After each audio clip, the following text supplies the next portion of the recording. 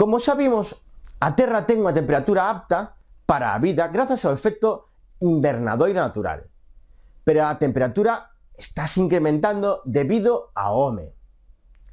A cantidade de dióxido de carbono, CO2, no aire aumentou moitísimo por culpa da acción do home.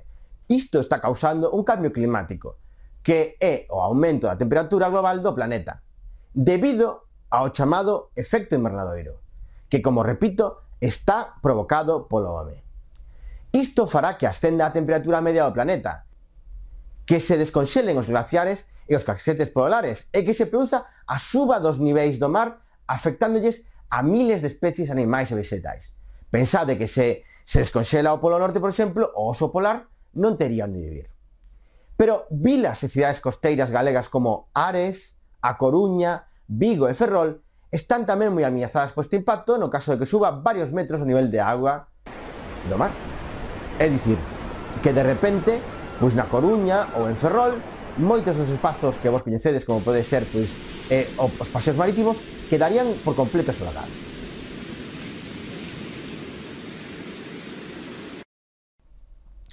A Terra recibe continuamente enerxía do Sol. Este continuo fluxo de enerxía é o que mantén a vida na Terra. Sen el, non podería haber vida ou polo menos non como concibimos. Todos os corpos quentes, como por exemplo o ferro cando quentamos, emiten enerxía en forma de luz.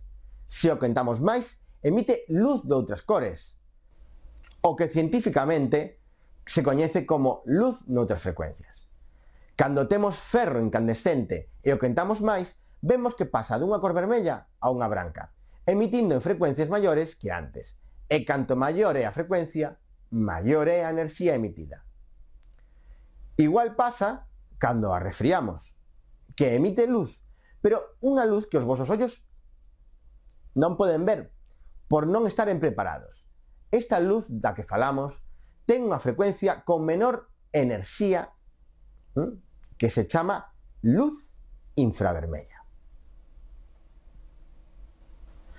Igual que pasa co ferro, ocorre tamén coa Terra, que ten unha temperatura media de 14 grados centígrados. Emite unha radiación que non é visible e é do tipo infravermella.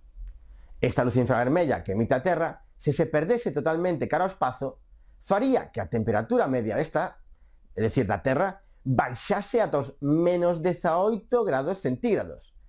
Pero non vos preocupedes, xa que existen uns gases na atmosfera, fundamentalmente o vapor de auga, o dióxido de carbono, o metano e ozono, que, ademais das nubes, reflicten esa radiación infravermella de volta á Terra, facendo que non sexa posible ese refriamento do que vos falei. Eh, pensade, sabedes como lle chamamos a isto? Efecto invernadoiro.